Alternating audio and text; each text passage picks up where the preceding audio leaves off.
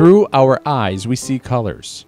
We can touch colors, we can taste colors, we can even paint with colors. Artists have been using colors to create all kinds of art using colors. Colors have been used to create dramatic art. Colors have been used to make colorful art, weird art, scary art, silly art. There is no limit to the kind of art you can create with color.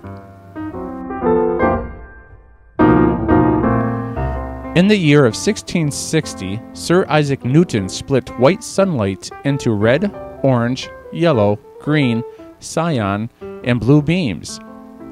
There were other color enthusiasts as well, like Johann Wolfgang von Goethe. He studied how colors affect our feelings and moods. The modern day color theory we use today was developed by Johannes Itten. He was a Swiss and art theorist. He created the color wheel with red, yellow, and blue as primary colors, and also the other 12 colors found on the color wheel. The color wheel is made up of visual colors or hues. These colors are known as the primary colors, secondary colors, and tertiary colors. The primary colors are red, yellow, and blue. These are the basic colors and cannot be created from other colors. The secondary colors are orange, purple, and green. Mixing two primary colors together creates secondary colors. Mixing yellow and red make orange. Mixing red and blue create purple. Combining blue and yellow create green. The next group of colors is called tertiary colors. There are six tertiary colors. These colors are made by mixing secondary colors. The tertiary colors are red, orange, yellow orange, yellow green, blue green, blue purple, and red purple. Colors can affect our feelings. They can make us feel happy, angry, sad, or inspired feelings of love.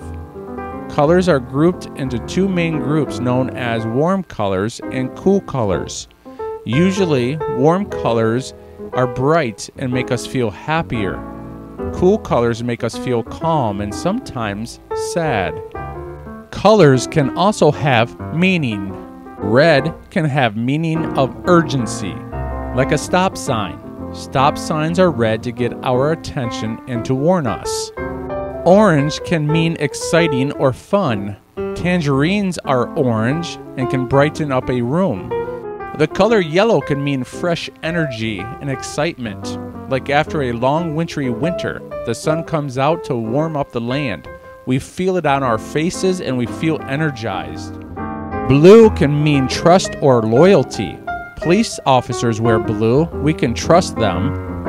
Green can mean new life. After a long, hard winter, the grass begins to grow, the leaves blossom and flourish, and we feel that life has not ended but is beginning. Purple can mean imagination or mystery. Eggplants are purple and are a mystery to me. I've never eaten an eggplant, so I can only imagine what one might taste like. Colors can make us feel in many different ways, and their meanings can be so diverse.